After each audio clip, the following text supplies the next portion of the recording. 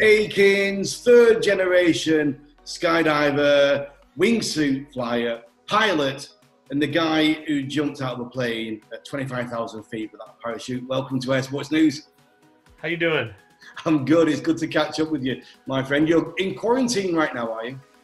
Uh, not really. We just finally broke. It's been three months. This is the first jump trip in three months. So I'm down here in Arizona. I got Mike Swanson and Jeff Provenzano. We're down here having some fun in Arizona. So you, you do a lot of work with Red Bull, a lot of demo, a lot of exhibition stuff. Tell me a little bit about that. So it's really cool, man. Like when I was a kid, there was the Budweiser skydive team, and then the Coors had a skydiving team. And I remember that when I was a little kid. And somehow I was able to work my way into this Red Bull gig. And so I'm on, in my opinion, the coolest sponsor in the world um, that lets me travel around and do cool events. And I mean, I, I was just thinking about it. Jeff Thoreau and I were talking, and we used to all share hotel rooms, you know, bunking up three or four dudes to a room to be able to do the stuff that we get to go do now. And we would stress over who was going to win the competition and all that. And now we go stay in fancy hotels and get to uh, skydive for fun, demonstrations wise. Guys, you guys deserve it. You got Amy as well, who's in the team. Yeah, you, yeah. I got Amy, and then my cousin Andy Farrington. He uh, lives right next to me. We have 40 acres between the two of us. We have a little grass strip. So during this quarantine, we were fortunate enough like we could jump every day. Um, I would fly, Andy would jump, Andy would fly, I would jump. Um, I did a funny little video where I did a Red Bull demo for my son and Andy's kids, and I signed a hero card for them, just being funny. You know, I did a demo into the backyard. One of the funniest ones I saw was uh, taking your bike in the plane. You went for pizza. yeah, I went and got Chinese food at the flew the airplane to get Chinese food. Got on the bike, rode, put it in the coo- in the cooler, which kept it warm, and then flew it back to the house in the plane. Pretty funny. I love it. I always watch the video, seeing you landing there on that strip with your family out waiting for you. Well, listen, let's talk a little bit about this jump. That's what a lot of people want to know about air sports news. People from lots of different air sports are tuning in for this. An incredible feat. It was an incredible experience. Whenever I watch it, I've just watched it again now a few minutes ago, and I've watched it multiple times. I'll be honest with you, it gives me a sensation and a rush and a palm sweat more than any skydive I've done in 30 years. Your jump peaks me out more than any jump I've done. Yeah, it's interesting you say that because I've heard that from many people. Like I, I travel around and I do talks, big presentations from lawyer groups to dentists, you know, all that stuff. And whether it's risk management or team building, you know, that kind of stuff I talk about. But when I talk to skydivers about it, they know what it's like, right? People in aviation understand that when I stepped out, there was no harness, there was no parachute. I mean, uh, Rook tells a funny story to me that he was sitting on his couch, Rook Nelson, when I when we exited. He was sitting on his couch. About halfway down, he's standing up. Right before I go, he's pacing back and forth in his living room, you know, because it, it was so real. And um, I'm so stoked that it was accepted so well by my peers. You know, I, I don't, not that I don't care about the rest of the world, but to me, it's really important that this wasn't just this crazy gag, flip of a coin type of stunt. This was a, a true flight test program that I was able to take all the stuff and all the people that I know and was able to mitigate the risk down to what I felt was acceptable. Um, and we did it with all the permissions that you can get FAA, USPA. I mean, USPA had nothing to do with the actual day of the jump, but they gave me a waiver to open super low to practice, to train for this jump so I could train for it safely and not break the rules. Yeah, you, you did over 50 jumps opening at 500 feet above the net. Yeah, so my wife and I had a deal that by the time we did it for real, I needed to do 75 jumps in a row, opening a thousand feet or below, right over the center of the net, verified with the GPS, the cameras, all of that stuff. By the time we did it for real, the last jump was my 82nd jump in a row, um, and that are was funny enough was the one I was the most off the center was the one I did for real. Um, but we did. I don't. You can't crinkle up a piece of paper and throw it in a garbage can 82 times in a row. So we felt very confident that um, that it was 100%. Over what period of time were these 80 jumps? So it took about a year and a half, the whole process, but there were six months of training. I did about 350 training jumps. But um, like I'm sure Airspeed or any of these teams that train, a lot of it is figuring out how to train. once you know how to train and like what moves to do, then they can rehearse the moves over and over again. But until they get the block worked out the way they want it to, that takes a lot of jumps. Then once they get it, so once I got it figured out, it was about 82. It wasn't about. It was exactly 82 times in a row um, that we were able to do it. And when this idea was first put to you, you weren't interested in being the actual guy doing it. You were very much into helping the design. Yeah, I mean, they, they asked me, they, they told me about it. Hey, why don't you jump on a plane without a parachute? And I said, you know, thanks, but no thanks. Uh, Gary Connery did it where he landed in the cardboard boxes, which is unbelievably, in my opinion, one of the more underrated things that has happened in our sport. Um, which I really appreciate the way he did it. He just went out and did it, right? Like there was no talk, just went out and did it, and I could really appreciate that. Um, mine, I needed more money and stuff, so we have a big sponsor, and that's great.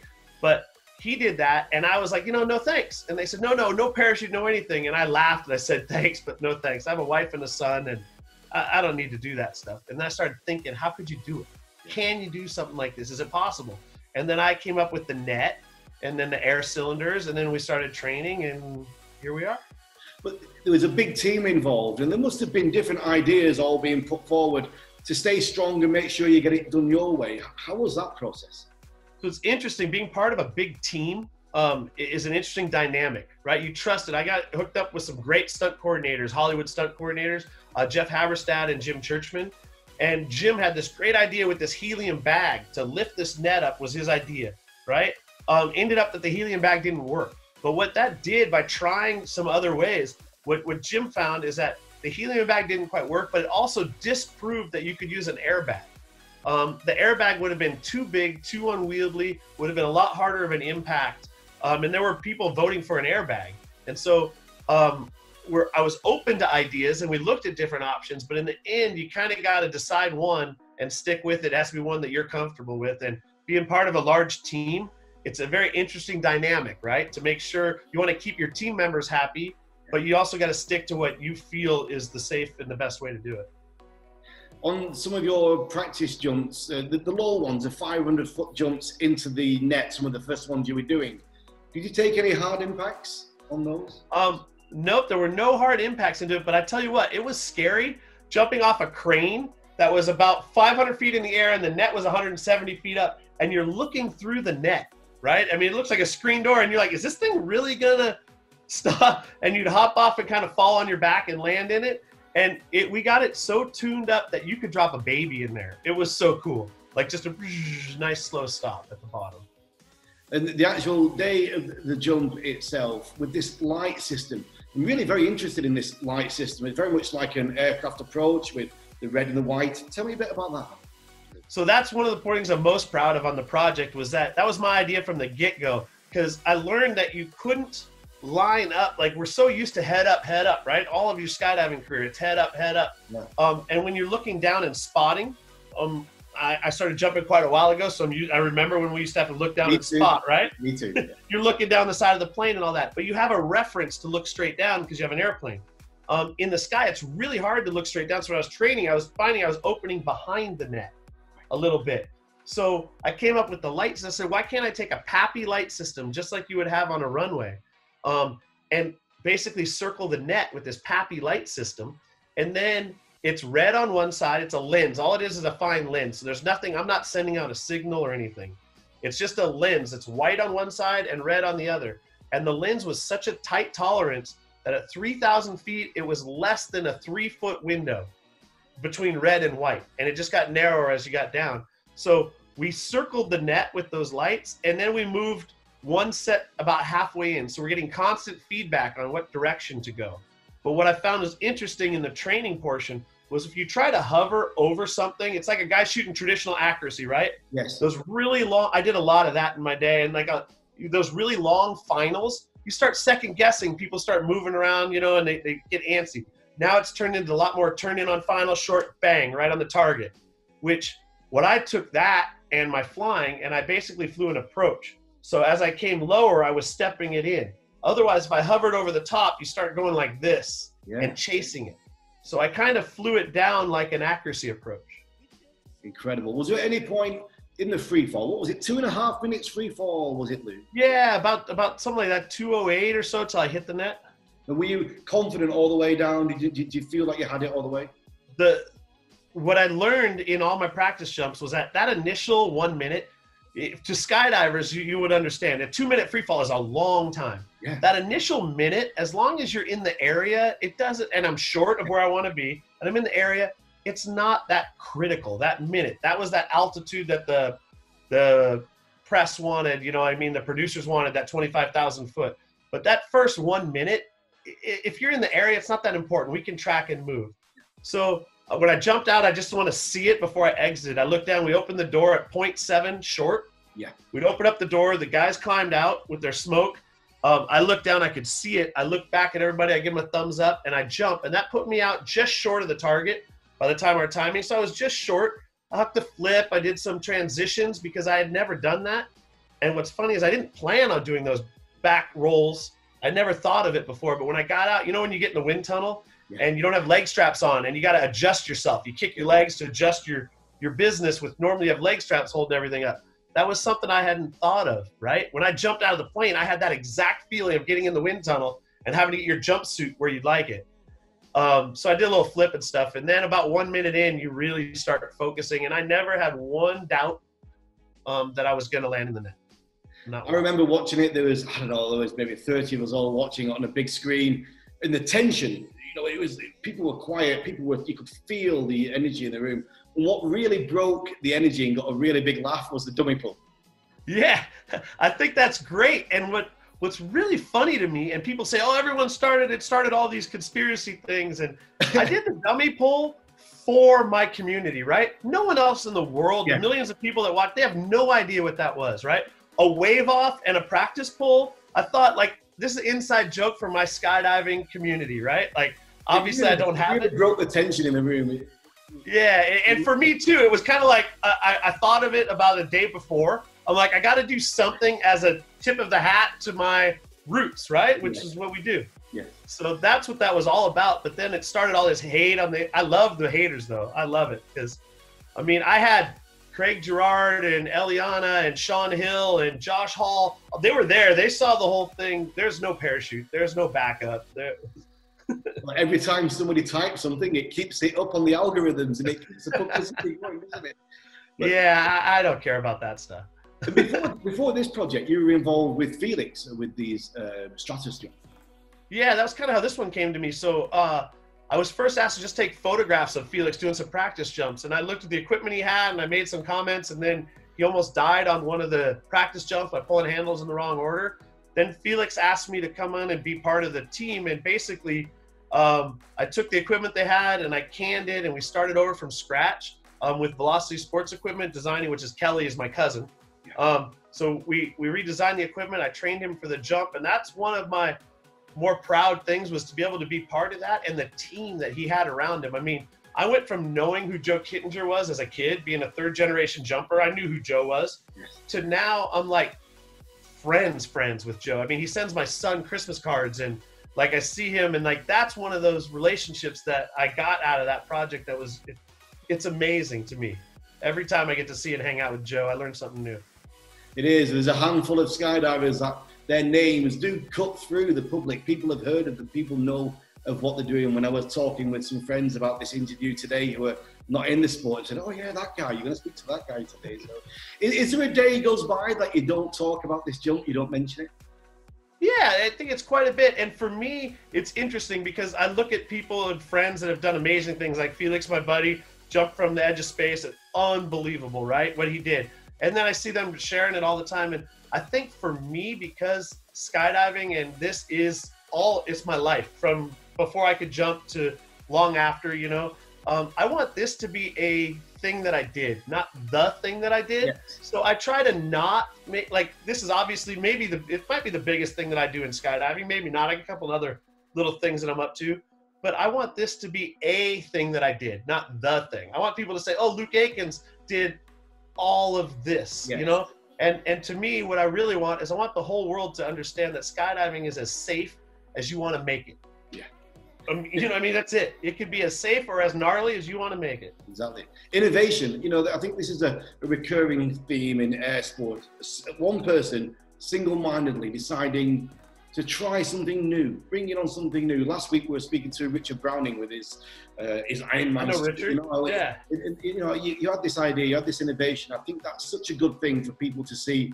You know, they, they can achieve. It doesn't have to be an extreme sport, but they can have an original idea with the right thoughts. They can bring it forward. And I think like this, the, the net jump isn't something that you know is a, a thing that's going to happen. People say, "Hey, are you going to try and top that?" And I'm not going to try to top that. What do you do with a smaller net? Light yourself on fire? I mean, I don't know what you're going to do to do do more than that. You're going to do different stuff.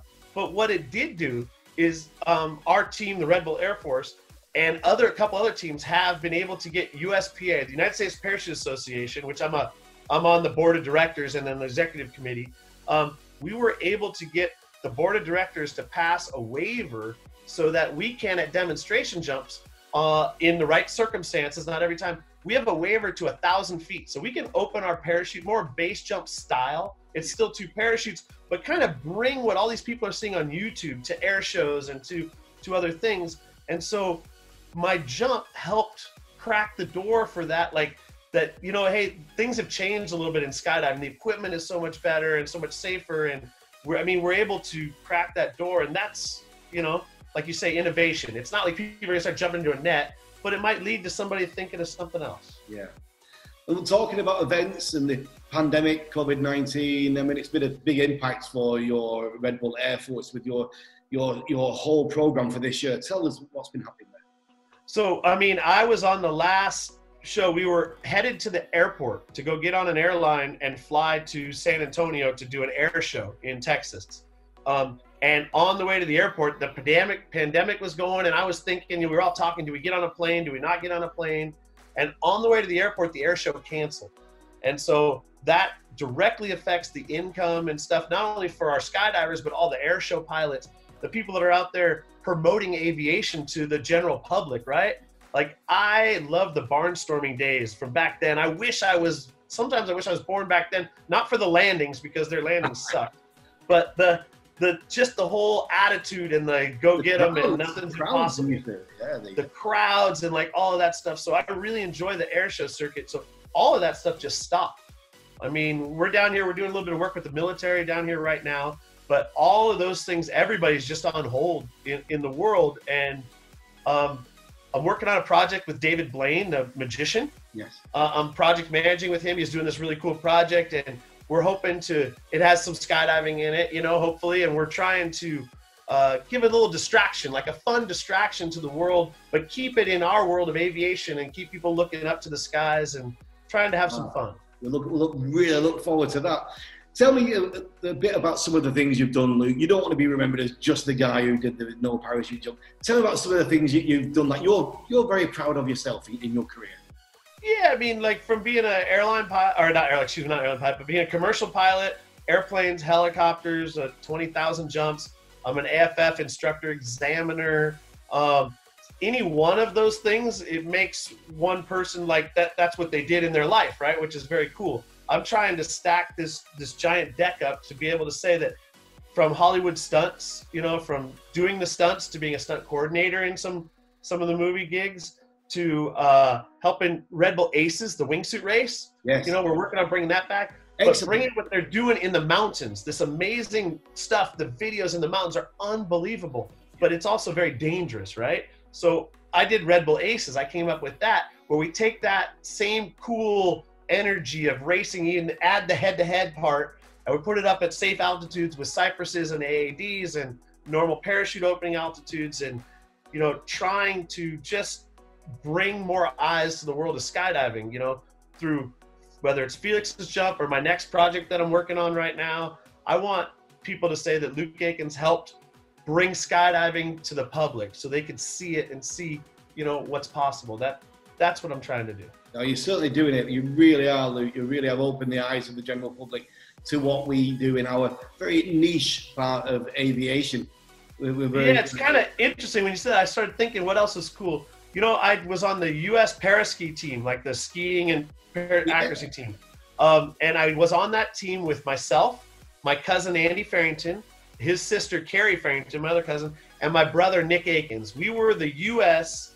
paraski team, like the A team, like the varsity paraski team one year. and things like that are just like cool, fun family. You know, a lot of people's parents took them out hunting or sports or whatever, and our family was skydiving, and that's you know what keeps us together. I saw a picture of your um, some big way, some belly big way with everybody on it was in your family from your grandfather. Yeah, we had some some big ones like that, you know, and the only also the the only not the only thing, but the only record in skydiving that I really want to be a part of that I haven't done yet um, is I haven't done a free fly world record, believe it or not. So I've done a crew world records, I've done belly world records, and I really want to be. I don't know that there's somebody who's done all three of those disciplines right. yet.